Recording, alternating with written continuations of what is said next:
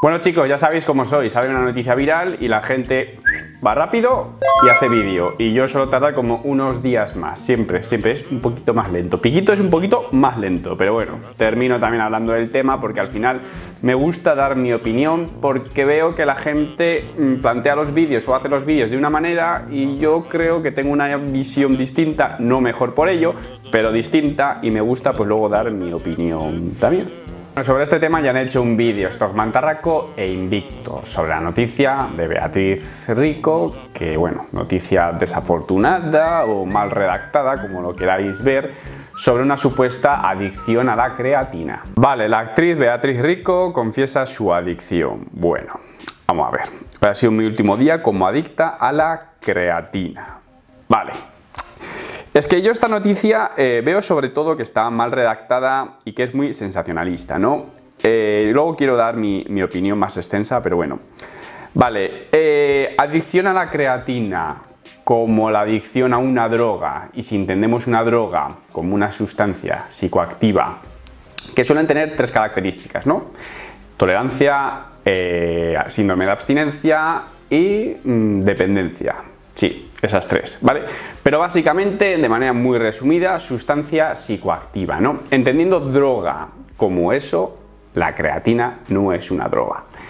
Hablando de la sustancia en sí, ¿vale? Continuamos con el vídeo y quedaros hasta el final, por favor. Bueno, fin del infierno ha escrito en Twitter. Eh, yo no vi si lo escribió literalmente o lo han sacado de contexto, pero bueno, obviamente, eh, pues ya te puedes imaginar que la noticia es un poquito, pues, mal redactada para mi gusto. Pero bueno, a día de hoy eh, yo creo que nadie se sorprende de, cómo es la prensa, ¿no? O sea, al final saben lo que venden y quieren vender. Y al final, pues hacen lo que hacen. O sea, yo creo que a nadie le sorprende hoy en día este tipo de artimañas, ¿no? Pues venga, vamos a seguir.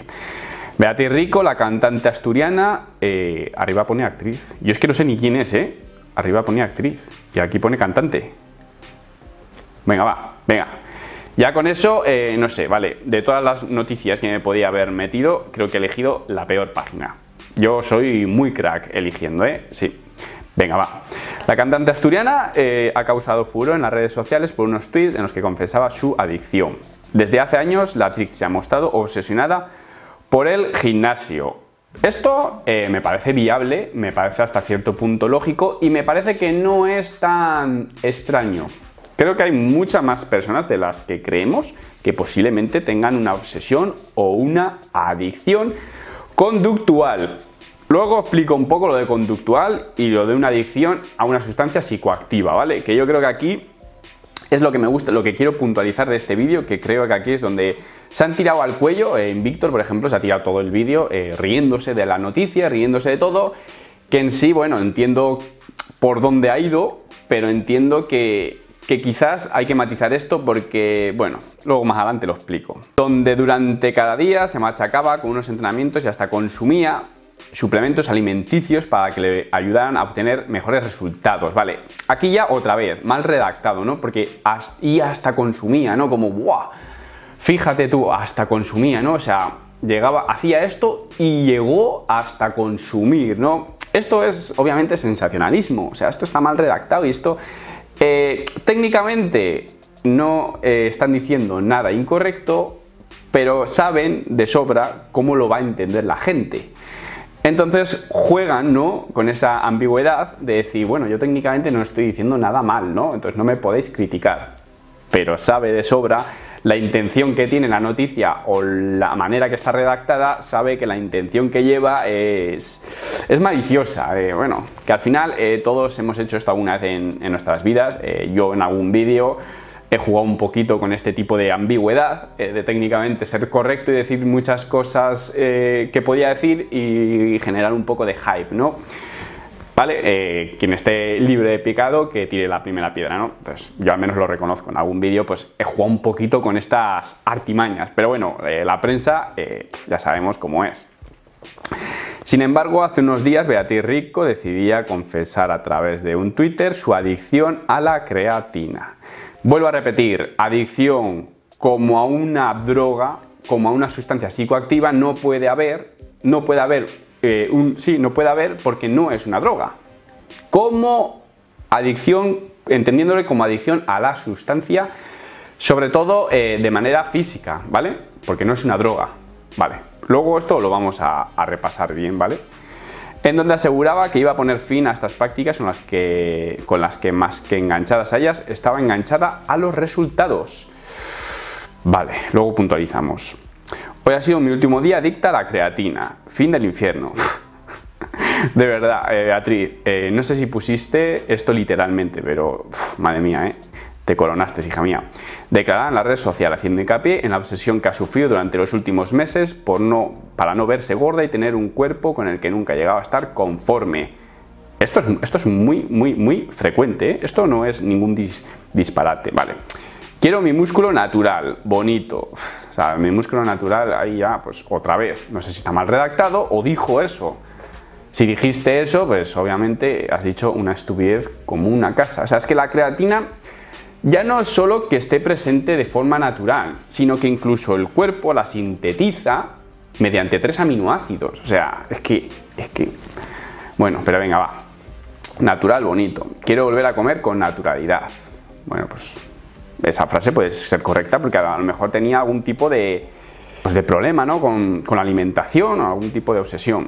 Men sana, incorpore sano. Pero de verdad, en serio, no toméis mierdas. Siempre pasan factura me pasan factura al bolsillo, porque mierdas, eh, la suplementación, si te están dando lo que prometen, si no hay fraude, no son mierdas. El problema que veo aquí o que veo de la mayoría de las personas es que la palabra adicción, la palabra adicción, la asocia directamente a droga. ¿Qué es lo que pasa aquí? Es la asociación más común, eh, yo también, para mí, obviamente, pero la definición de la palabra adicción es muy amplia y extensa. Lo primero que diré es que adicción es una palabra muy grave, ¿vale?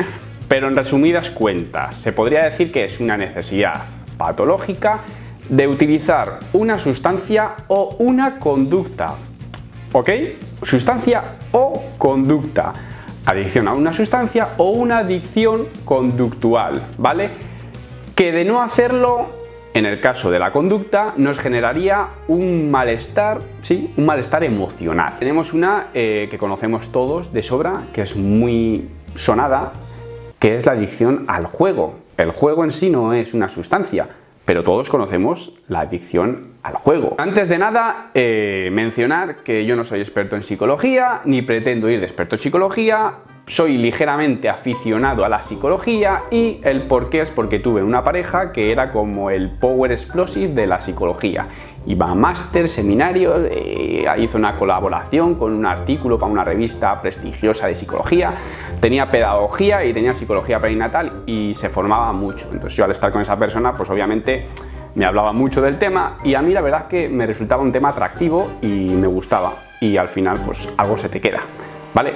Pero no, quiero ir de experto, ¿vale? Seguramente es posible que meta alguna gambada. Entonces, en esta noticia, ¿vale? Eh, esto es una opinión personal, pero es posible que sí haya una adicción conductual a lo que viene a ser que esta señorita eh, cuidaba su cuerpo, ¿no? La adicción a cuidar su cuerpo, a llevar todos los hábitos, o sea, la conducta de llevar todos los hábitos que, digamos, le producía tener ese físico, ¿no? Y de no hacerlo, pues posiblemente le generaría malestar emocional, ¿no? Entonces quizás tenía adicción a la conducta de cuidar su cuerpo de manera generalizada.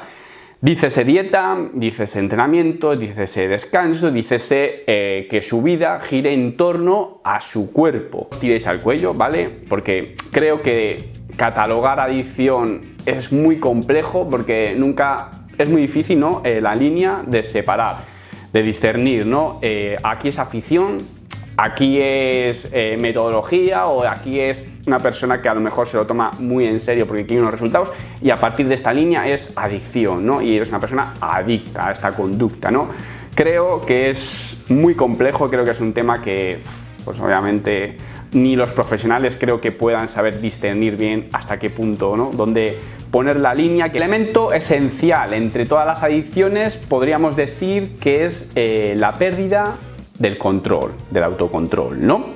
Digamos, cuando una adicción, a lo que sea, conductual o a una sustancia, digamos que esa pérdida de control eh, predomina o influye de manera eh, muy grande sobre el control de nuestra vida. ¿no? De hecho, hay expertos que dicen o aseguran que cualquier conducta que en un principio nos genera placer, que es una actividad placentera, digamos que es una conducta que tiene riesgo, no tiene por qué, pero tiene riesgo a poder ser eh, una conducta eh, adictiva, ¿vale? Modo de resumen, si una persona, eh, una actividad que comenzó siendo placentera, de placentera pasó a que predomine en su vida de tal manera que toda su vida gira en torno a esa conducta, ¿no? Y que de no cumplir esa conducta le genera un malestar emocional, ojito, Ojito, que yo no voy a decir que esa persona sea adicta, porque vuelvo a repetir, me parece que delimitar la línea es muy complejo. Pero yo creo eh, que ahí está un poquito la clave, ¿no? De decir, bueno, yo si hago esta actividad me genera eh, un placer. Y hago esta actividad porque es una afición, porque me gusta. Pero en el momento que por lo que sea ya no puedes hacerla y te afecta de una manera muy grande, generándote un malestar emocional, y digamos que el cumplir con esa actividad, eh, digamos que tiene una importancia vital en que gira en torno toda tu vida a ella, vuelvo a repetir, yo no voy a decir que seas una persona adicta, ¿vale? Pero hay que tener cuidado con eso porque también yo creo que hay muchas personas que se esconden en, el, en la excusa de dedicación, de dedicación, dedicación, dedicación y llamar a los demás como eh, blandos, no son demasiado implicados en, en ello a lo mejor esa persona es adicta, ¿no? Entonces, a modo de síntesis total, eh, veo que la noticia se ha sacado demasiado de contexto por culpa en sí también de la noticia, pero creo que falta un poquito de información general a, las personas, ¿no? Sobre este, sobre este tema. Vale, mi opinión ya, y terminamos el vídeo chicos, es que sí puede haber una adicción conductual a lo que viene a ser cuidar su cuerpo, ¿vale? Llevado quizás a un extremo, porque le repercutía demasiado y le generaba malestar, Adicción conductual a lo que es tomar la sustancia en sí. A ver, tirando de definición, y un caso muy extremo, adicción conductual a tomar la creatina, es que tirando de definición sí podría darse. ¿Vale? Vuelvo a repetir, es algo eh, estrambótico, estrambótico, sí, existe la palabra estrambótico, ¿no? Luego lo busco a ver si, si no me lo he inventado. ¿Sería algo estrambótico? Pero técnicamente, tirando de definición, ¿se podría dar? Pues en mi opinión yo creo que sí. Y me explico. Tú dirás, no, porque no es tan relevante. Obviamente, tomar creatina no es una sustancia relevante. O sea, es que es, que no se nota prácticamente. Se nota muy pequeño y hay personas que ni lo notan, ¿vale? Bien, pero estamos, eh, entramos en la psicología. Si una persona, aunque esa sustancia en su cuerpo eh, no le genere cambios, ¿vale? Físicos o notablemente en rendimiento, vale, pero volvemos a la mente. Si esa persona cree que sí, tiene un dogma de fe muy grande, ¿no? Tiene, digamos, un efecto placebo bestial esa sustancia en su persona. ¿Me entendéis? Si tiene mucha fe puesta esa persona en la sustancia, quizás sí podría darse que tenga eh, una adicción conductual a tomarla, porque de no tomar esa sustancia, al generarle tanto efecto placebo, tanta fe en esa sustancia, le generaría un malestar. Eh, pensaría que perdería pues, pues, todos los progresos o que, bueno, que su cuerpo eh, gira en torno a, tomar esa sustancia, ¿no? Vuelvo a repetir, ¿vale? Eh, no saquéis estas mis palabras de contexto, por favor. No quiero comentarios estúpidos porque, sobre todo de gente que no ha entendido el vídeo, ¿vale? Por favor, no. Seamos comentarios serios, maduros y adultos. Me parece estrambótico, pero claro, eh, la, psicología es muy compleja, entonces hasta qué punto no sabes que una persona pueda ponerle tanta fe a, una sustancia por muy droga que no sea. Porque vuelvo a repetir y lo dejo aquí medio gritando, la creatina no es una droga porque no es una sustancia psicoactiva, ¿vale? ¿Ok? Muy bien. Pero bueno, entonces ahí entraríamos en, divagar un poco, ¿no? Entonces yo creo que sobre todo eh, podría tener adicción conductual a cuidar su cuerpo en general, a estar obsesionada con su cuerpo. Nada chicos, hasta aquí mi opinión de la noticia que se ha hecho mega ultra viral y espero que os haya gustado el vídeo, os mando un saludo, un abrazo, gracias por estar ahí y hasta luego.